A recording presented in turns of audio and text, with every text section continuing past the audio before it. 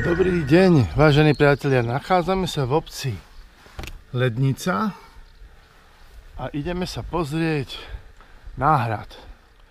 Parkovať sa dá pri hostinci pod hradom.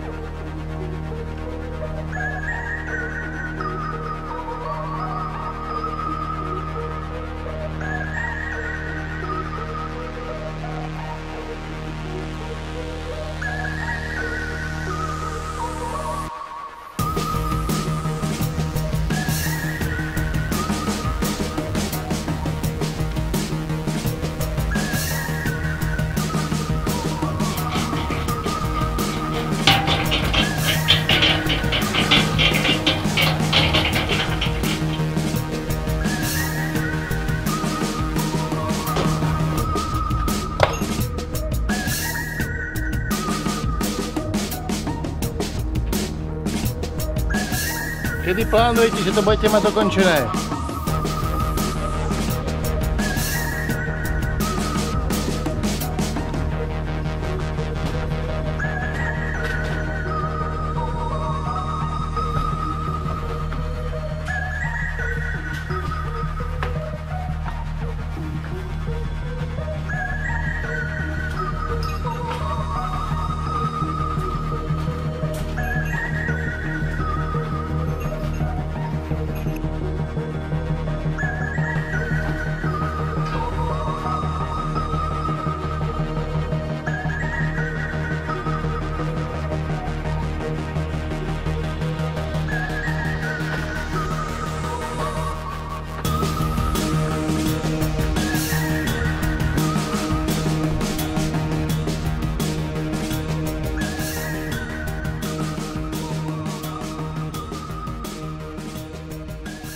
Zámok alebo hrad? Hrad Hrad. A tu vám predstavím pána, ktorý Luboša Červeného, je zo združenia historicko-astronomická spoločnosť, a ktorá opravuje tento malý hrad, ktorý sa nachádza priamo nad obcov Lednica. No, práce prebiehajú momentálne na západnom paláci, ktorý je celý zhotnutý v tom lešení a tento rok by už z vonkajšej strany časť toho lešenia mala ísť dole, takže zvonku je hrad veľmi fotogenický, takže to budú nádherné výhľady. Vrele doporučujem, aby ste to navštívili. Je to kúsok od diálnici, na druhej strane je Ilava. Áno, na druhej strane, no skôr Lace a Beluša od diálnice smerom na Lednické rovne a potom na obec Lednica je to asi tak, Tak. 16 kilometrov. Ľudia si to vygooglia a vy ste mi hovorili, že tu máte vzácných dravcov. Povedzte mi niečo. Áno, hrad sa nachádza, je postavený na brale, ktoré je v rezervácii, kde je 4. stupeň ochrany prírody a hniezdi nám tu sokol sťahovavý a vír skalný práve na týchto bralách, preto je to veľká vzácnosť tu na Slovensku, pretože sokol, toho sokola sťahovavého je na Slovensku len nejakých 10-12 párov, takže my sme na toto patrične hrdí. Tak hrad Lednica je unikátny najmä, unikátny najmä tými svojimi prácami, ktoré tu spravili v tom stredoveku, hlavne na tej skale. Prejdete cez 12 metrov dlhý tunel, ktorý je vytesaný cez to bralo, ktorý bol jediný prístup do týchto palácových častí, kde sa my nachádzame. Ďalej sú to tuto dve miestnosti na tom brale, vytesané priamo do skaly, ďalej sú tam aj ďalej tie schodíky, ktoré je trochu vidno. No a nakoniec je to ten najväčší unikát, ktorý nikde inde na Slovensku ani v Strednej Európe nenájdete a to je 80 schodov vysekaných do toho úzkeho chrbáta toho brala až na vrchol, kde sa nachádzala kedysi väža, ktorá sa volala Straka. Eh, Mala veľký obranný význam, až 5 diel na nej bolo, takže mohli páliť na jednu, na druhú stranu. A celé to schodisko svojho času bolo nadstrešené strechou. Dnes sa tam turisti dostanú práve po tomto rebríku. E, Nie je to nič hrozné, v Slovenskom raji sú horšie. A, a celé to schodisko si môžu výjsť až na vrch a keď je takéto krásne počasie, tak z vrchu je naozaj nádherný výhľad na to široké okolie. Výhľad je určite nádherný, ja už sa na to teším. Trochu sa bojím toho chodníku. Čo by ste doporučili rodinám s deťmi. Je to bezpečné ísť po tom rebríku, Uh, alebo treba na to nejakú to- lezeckú nejakú súpravu? Nie, alebo... nie, ten, uh, to schodisko je asi tak po pás, po prsia zasekané do tej skaly, takže tvorí to tam prirodzené to zábradlie, ale s malými deťmi by som tam ja osobne nešiel, aj keď sú takí odvážnejší turisti, ktorí tam s nimi výjdu. Je to na zváženie tých rodičov a je to na vlastné riziko v podstate, keď ich tam zoberú. Ako by vám mohli ľudia pomôcť e, pri tej rekonštrukcii? Robíte nejakú zbierku, alebo na čom záleží etapa tejto prestavby, alebo kam sa chcete dostať? No hlavný cieľ je zastaviť rozpadávanie tej ruiny, čo sa nám už takmer na 80% podarilo. Zakonzervovať tú ruinu, čiastočne dostávať tie veci, ktoré vieme, ako vypadali, takže tie priečky, ktoré tu boli, ktoré máme na fotkách zo 60 70 rokov, takže tie znova uvidia svetlo sveta a z tých fotiek spred 100 rokov, tých prvých fotiek, ktoré máme, tak podľa toho vlastne rekonštruujeme aj tento obrovský výpadok toho múru. Celé to účko sa zrútilo v 99.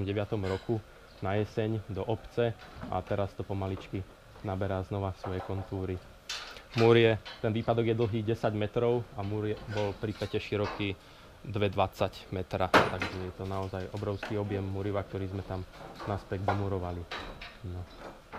Opravujete to v spolupráci s obcov, alebo tej hlavnej oprave sa venuje naše združenie, ktoré je 51% vlastníkom už tohto hradu, zvyšok má práve obec. Hlavným donorom je teda Ministerstvo kultúry, ktorý každý rok prispieva najmä na to materiálno, na to lešenie a odborné práce a výskumy a mzdy uh, zamestnancov, ktorí sú tu cez úrad práce, ide cez, idú cez Európsky sociálny fond, takže takýmto spôsobom sa u nás opravujú tie hrady cez projekt Obnovme si svoj dom. Týmto, týmto spôsobom pozdravujeme ministerstvo a Európsku úniu, že ďakujeme. Ďakujeme veľmi pekne. No, bez nich by sa tieto opravy našich hradov asi nediali v takom rýchlom tempe, ako to beží teraz. No a tí turisti môžu navštíviť náš hrad cez víkendy, kedy je hrad otvorený od 1 do 6. Ehm, Máme tu aj sprievodcu, keď sa nakopí nejaká väčšia skupinka. Vstupné máme dobrovoľný príspevok na obnovu, takže ak budú e, turisti chcieť prispieť, tak môžu. E, Tieto peniaze práve používame na ten stavebný materiál, ktorý tu vidíte. Hrad je otvorený aj cez týždeň, keď sú tu títo zamestnanci od 7. do pol druhej, uh, ale vtedy vám tu výklad akože nikto nespraví, uh, pretože oni tu pracujú. Takže odporúčam hlavne cez tie víkendy chodiť na tento hradík. Klembu palácovú práve z takýchto tufových kameňov, to je pôvodný lokálny materiál. Takže to je sopečný pôvod? Sopečný pôvod to nemá, to je vlastne vápenatá voda, keď zaliala lesnú hrabanku. Niekedy tam vidno ešte lístky, konáriky, ako aj tu. Eh, A je to taký stredoveký ipor, itong, ktorý my dnes používame. Dá sa to normálne sekerkou otesávať alebo rezať normálne pílou na drevo. Takže to bol ten lokálny materiál, ktorý používali na stavbu tých klenieb. Má aj dobré izolačné vlastnosti a hlavne je ľahký. Takže môžeme sa ísť pozrieť dnu. Op, pardon. Pohode. Poďte, nech sa páči. A aké, aké dátumy vieme o tomto hrade? Kedy sa nejaká prvá zmienka, alebo Nejaká predpokladaný zmienka. dátum, Dátum rok, neviem. storočie? Ale je z tej prvej polovici 13. storočia a nejaká stavba tu už určite stála v práveku, nie stavba, ale osídlenie tohto kopca muselo byť už niekedy v tom práveku. Práve tu vidíme ten najstarší múr, tie najstaršie časti, tuto na spodu toho pôvodného hradu, ktorý tu stál, čiže boli to fakt len asi jednopodlažné paláce, možno nejaké aj hrazdené alebo zrubové stavby na tom boli postavené. A práve sa nachádzame v tej najstaršej časti. Toto je tá najväčšia palácová miestnosť tohto hradu. A v inventároch sa nám opisuje, že na stenách boli zlaté a strieborné ornamenty. A keď sem prišiel taký 90-ročný pán z obce, tak rozprával, že ako malí sa tu pod tou klenbou hrávali ako decka, samozrejme ihrisko priamo v obci, stredoveký hrad. Takže tá klenba ešte z veľkej časti stála, bola tu ešte omietka a boli tam hviezdičky, takže museli to mať svojho času veľmi pekne zdobené. A celý tento biely flak, ktorý tu vidíme, tak to je vlastne klenba, ktorú sme minulý rok domurovali spoločne s tou priečkou, ktorá tu tiež pribudla a v budúcnosti by sme tu už plán chceli nejaké tie výstavné prezentačné priestory tomto hrade. Je tu vidieť veľa odvedenej práce. Koľko sa tomuto venujete? Koľko času? Združenie je tu na hrade od roku 2004 O, Vtedy začali tie práce prebiehať na báze dobrovoľníctva po víkendoch a od roku 2013, keď beží ten projekt zapojenie nezamestnaných do obnovy kultúrneho dedičstva, tak tu pracuje 5 dní v týždni, normálne 8 hodinový pracovný čas. Malá skupina ľudí, tento rok ich je 12, ktorí postupne opravujú ten hrad a odtedy to vlastne ide milovými skokmi napred. Tak držím vám palce a ešte raz pozývam všetkých ľudí, ktorých zaujíma história a nádherné výhľady. Navštívte hrad Letnica. Viacej informácií bližších nájdete na webe. Áno, na facebookovej stránke, tam sú najaktuálnejšie informácie. Na. To je taká čelovka tu vždycky.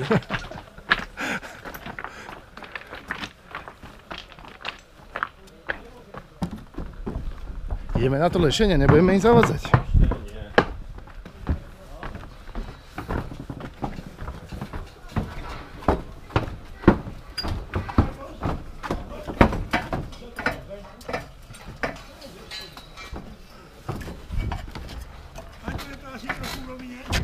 Dobrý deň. Nevidím.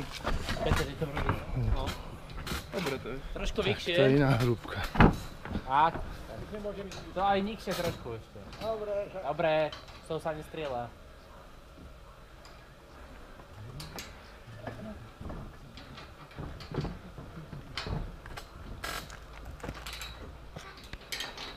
Pán Matúš, pozujete, no? to celý ten vy. Toto je nam, no, namurovaná stena až vlastne od toho základu. Ochladilo trošku tá- 5 rokov sa to muruje, každý rok tu pribude nejakých 40 kubíkov. To rok u- od zemi alebo odkiaľ je Od základ? zeme, od spodu. Úplne To od spodu? bol Úplne taký výlom, taký skosený, ktorý sa naspäť Toto sme koľko? 15 metrov vo výške? Takých 15 asi, hej. Tak to je veľa, veľa, veľa práce, veľa hodín. Tuto dole to okno nové, kde sme. A tuto sa môžeme ísť pozrieť na posledný pozostatok malieb tej výzdoby toho paláca, ktorý tu bol, ktorý momentálne reštauruje reštaurátor. A tu je to náročné kvádrovanie. Oni keď nemali nemali peniaze na to, aby si mohli dovoliť tie opracované kamene na ten roh toho paláca, tak si to jednoducho namalovali a teraz sa pracuje vlastne reštaurátor. Ešte, ešte takto to vôbec vyzerať nebude vo finálnom stave, moc to svieti. Ešte tam pribudnú tie pigmenty na povrch. Takže takéto, takúto malovku tu oni mali. Nádherné. A aké máte skúsenosti s domácimi? Sú hrdí na to, čo im tu stojí v obci, alebo ani si to neuvedomujú? Uh, to povedomie sa určite tou rekonštrukciou zvýšilo a myslím si, že momentálne sú veľmi hrdí na to, že takáto unikátna historická pamiatka sa nachádza priamo 10 minút peši od obce. A z okien majú nádherné výhľady teda. Väčšinou, čo som pochotil hrady, zámky, zrúcaniny u nás, tak je to vždycky úplne úžasné pre všetkých turistov, lebo väčšina sa mi stalo, že som vystúpil z auta a za 5 minút som bol na vrchu. Áno. Takže to je úplne pre deti, aj pre starších ľudí. Úplne ideálny prístup. No, ľudia na vozíku.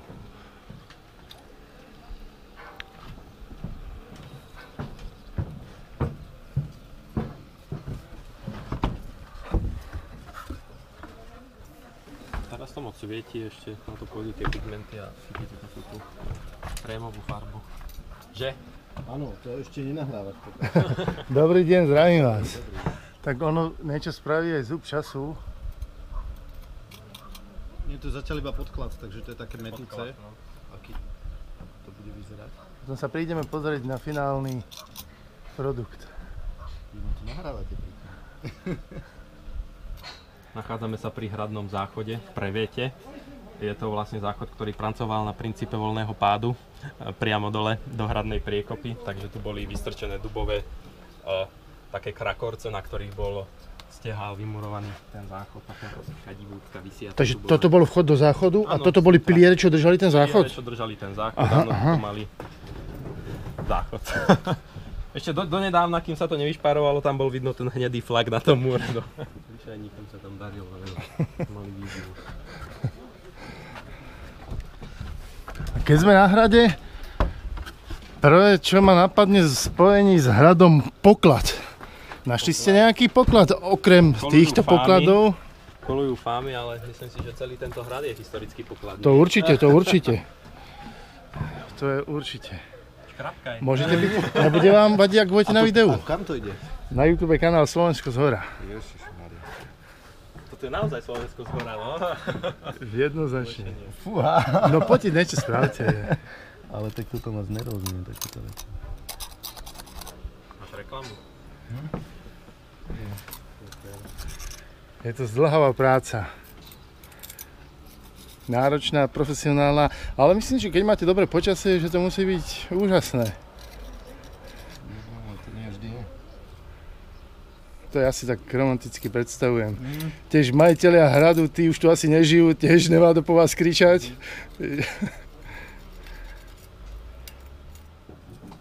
Som myslel, že nechodí vôbec z tejto strany slnko.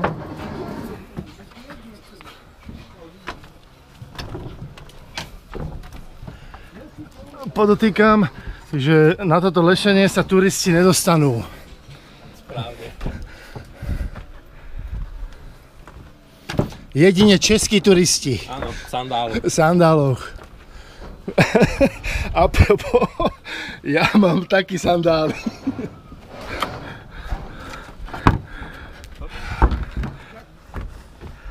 Tak toto je vrchol. Tak toto je vrchol toto. Sme na vrchole. Nič proti českým turistom, všetkých zdravím a vítam, pozývam. Len teraz e, v telke išlo video z, zo Slovenského raja, nevideli ste? Ako predbiehali na chodníku, na chodníku, na rebríku. Na rebrí. Že z- videli ste to video? Videl Z tej to. vnútornej strany, tak to bolo ako hardcore. Tu je taká zaujímavosť, tam je vytesaná špára po streche, ktorá bola v tej skale vsadená. Ako to tam tesali, či tam niekto vysel z vrchu z lana, Asi to áno. nevieme. No. Mali čas a dosť ľudí, takže... Čas sa dosť ľudí, áno. Toto je vlastne všetko na novo vymurované, celý ten záklenok, tu zostal iba taký vydrolený, vytvor, vydrolený otvor. No keď sme to celé začistili, tak sme našli petu toho záklenku. Tak keď už toto, túto lešenie máme, tak sme zistili, kde sa ten záklenok nachádzal, tak sa to okno zaklenulo. Naozaj, naozaj to je jedno z tých najväčších okien tuto na tom hrade.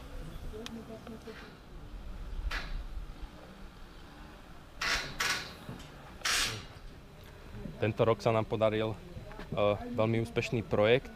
Uh, projekt sa volá Sad, ktorý učí, hrad, ktorý žije a podporila ho Poštová banka cez svoj uh, grantový program pre tri generácie a popri sade, popri tom úzkom brale z tej južnej strany sme vysadili ovocný sad, ktorý je prevažne z tých starých odrôd sliviek a hrušiek, také niečo ako muškatelky, ovesňačka, koporečka, proste hrušky, tie hniličky, ktoré si každý z nás asi pamätá z babičkinej záhrady, také veci sme tam posadili. Ten sad tam pôvodne bol, spomína sa aj e, v inventári z roku e, 1900, 1694 a chceli sme zachrániť vlastne to ovocinárstvo, tú tradíciu, ktorá v tejto doline bola obrovská, dokonca väčšia ako v Bošáckej e, tej dedine, kde, ktorá je akože taká vychýrená. Tam hovoria, že spravili jednu sezónu 37 tón sušeného ovocia a my máme doklady, že v polovici toho 19. storočia uh, úradné doklady, ktoré do, dokazujú, že tých 15 usadlostí tedajšieho lednického pánstva vyprodukovalo 1000 tón sušeného ovocia. To je si myslím už nejaké číslo. Na tú dobu a na tie technológie Bol to obchodný artikel, takže tu boli všade sušiare, šu- sušiarne pre ovocie. A, a inak sa to ovocie neuskladňovalo vlastne. Zavarani, zavaraniny vtedy ešte neboli, takže týmto tu oni obchodovali.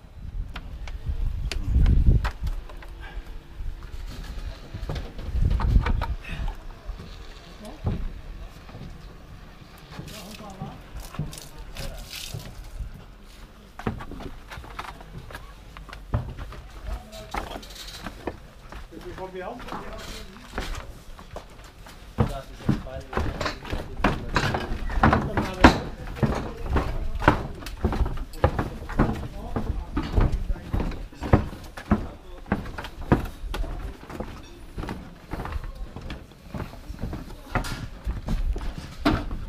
Tak môžem ísť tam hore, áno?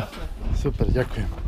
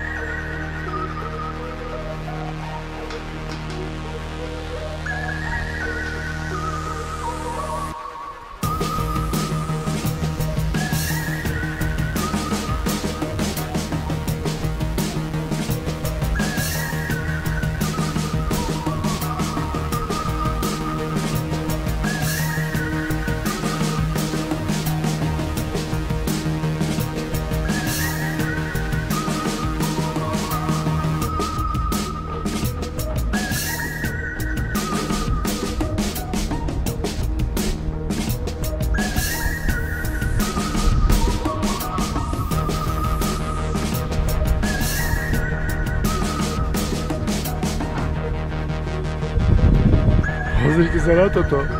Makču Pikču na Slovensku.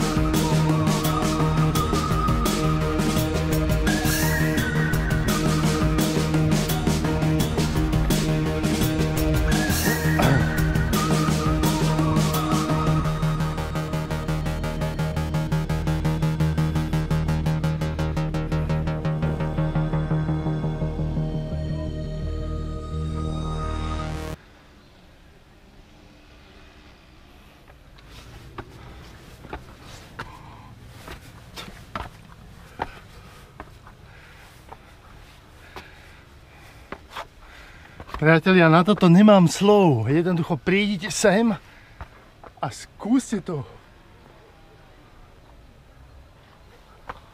Toto je úžasné, úžasné. A to sme pár kilometrov od Trenčína.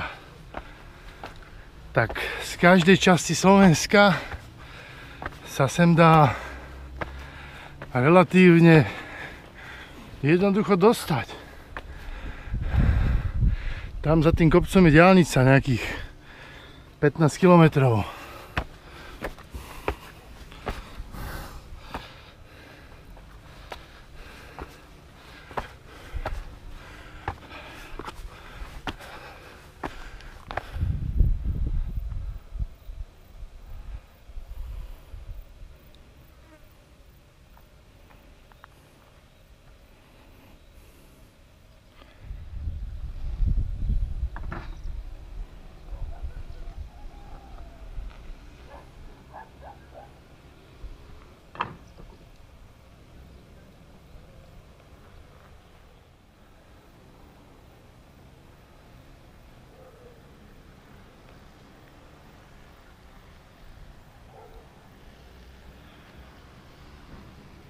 Čo sa týka bezpečnosti, myslím si, že keď deti zvládnu ten rebrík tu hore, tieto schody sú bezpečné. Bezpečné, ale tak netreba nič podceniť, treba ich strážiť.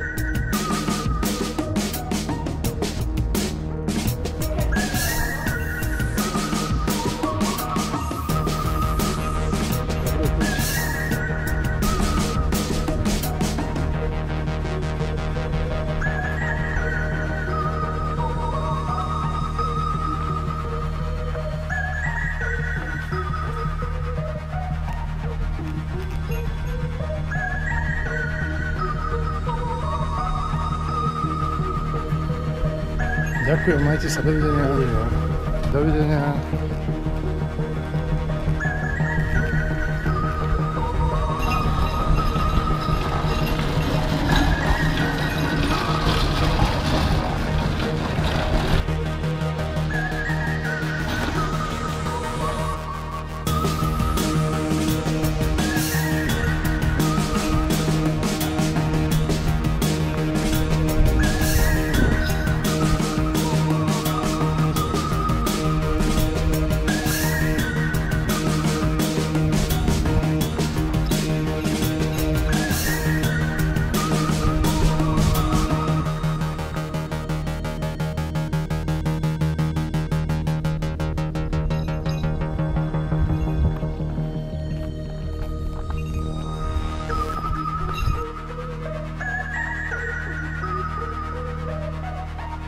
Thank